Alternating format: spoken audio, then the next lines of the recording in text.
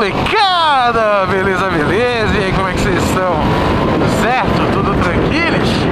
Bora pra casa? Nossa, que frio, velho. Me arrependi de ter colocado a jaqueta. Coloquei só uma blusinha de moletom aqui. Nossa, tá um gelo, gelo, gelo. E ali em cima tava no sol, tava de boa. Ai, o sol aqui. Ai, partiu o final de semana, né? Graças a Deus tava aguentando mais, cara. Precisava de um final de semana para dar uma descansada, uma relaxada.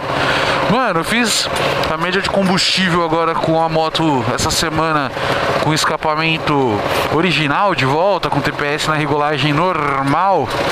Cara, me surpreendeu. Chegou 12 km por litro andando aqui na cidade. Hum, ficou uma delicinha, hein? Belezinha.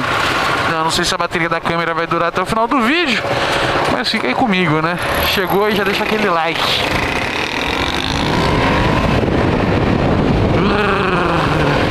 Ela com escapamento original, ela tem mais torque de saída, é gostosinho pra andar, cara. Tá mais espertinha nas arrancadas.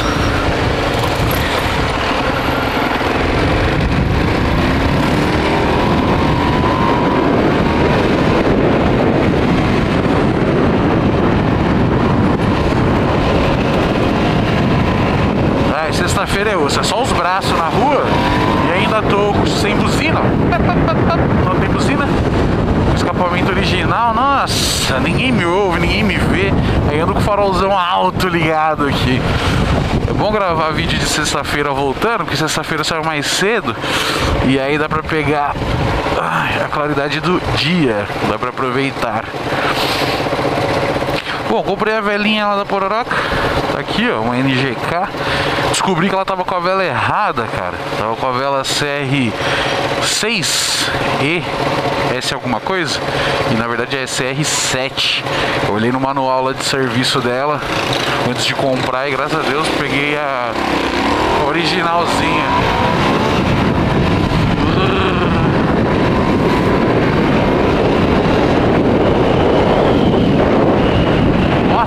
Tá andando. Que delícia. Ainda que eu tô rodando na gasolina comum, cara.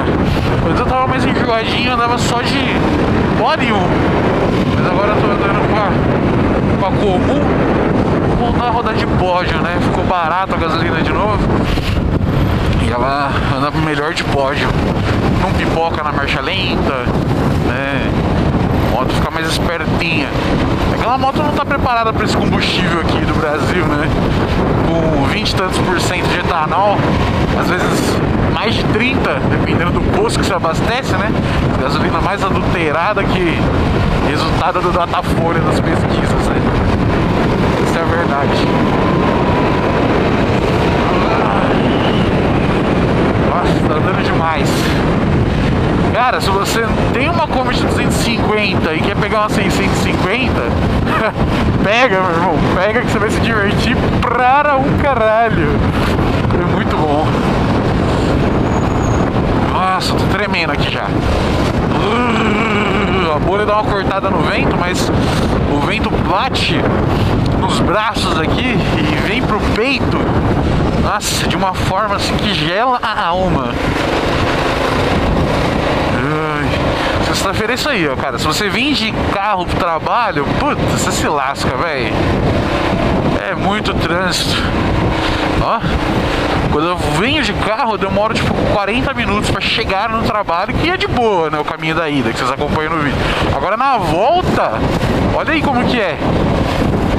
Nossa, uma vez eu vim de carro, eu cheguei em casa às seis e pouco. Cheguei em casa e a mulher falou, você tava onde? Eu falei, tava no trabalho, no trânsito, né?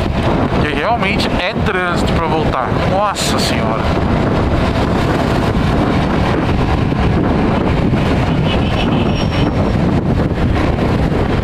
Aí tem uns tranca-rua aqui ainda. Ô oh, vida.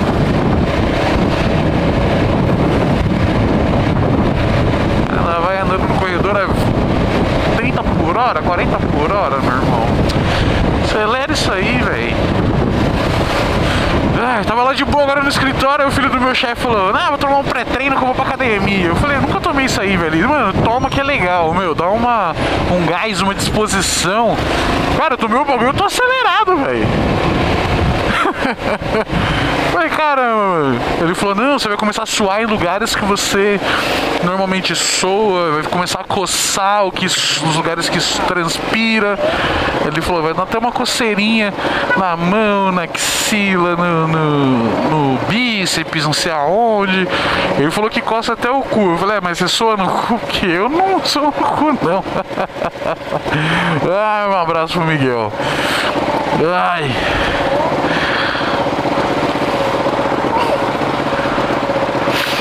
Esse trânsito aqui tá osso.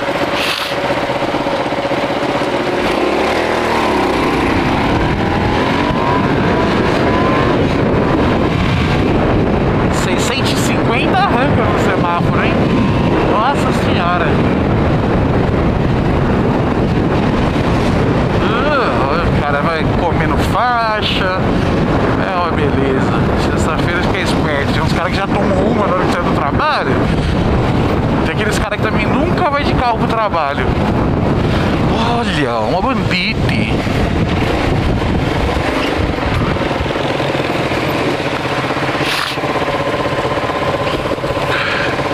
Essa aí eu tenho vontade de ter, hein? Nossa senhora.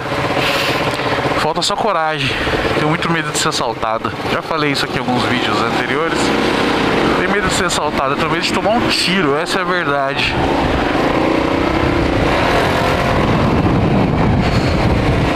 Que às vezes você é assaltado, o cara leva o bem e já era, né? Mas tem uns caras que é assim, né? Vai te assaltar, te dar um tiro. E aí você vai fazer o quê? Tem conta pra pagar, né? Pra usar no dia a dia se não dá. Se eu tivesse. Opa! Aí você é boa de volante, hein? Obrigado, hein? Um cachorrinho no colo ainda. Ai. Então, se o cara só leva o bem já era, né? Mas o problema é se dá um tiro em você, te deixa tetraplégico, aí paraplégico de graça, fazer uma moto, sai fora. Pelo menos de cometão aqui ninguém leva, ninguém quer, ninguém rouba. Essa é a verdade, então essa é a parte boa. E anda pra caramba também, né? Vamos falar a verdade, né? Já acelerei do lado de uma bandite, não fica muito atrás não, viu? Pelo menos da Naked, não. Agora daquela que tem a bolha, aí eu não sei, cara. Já acelerei com uma Naked, tanto aquele modelinho mais antiguinho, quanto aquele... O antiguinho que eu falo, aquelas 98, 99, que tá traseirona... mais inchadinha, né? Que parece a, a Kombi descarburada. Aquela lá e já acelerei também com uma 2010, se não me falha a memória. Ai, não fiquei atrás não.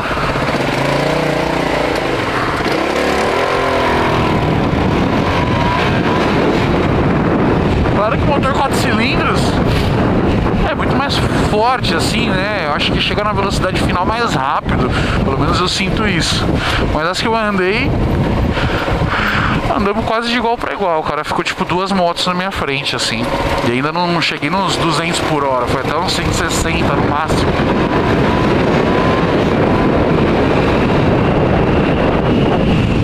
É isso aí, molecada. Vou encerrar o vídeo aqui, ai, pra não ficar muito longo. Deixa aquele like, se inscreve no canal. E é nóis, tamo junto, fui.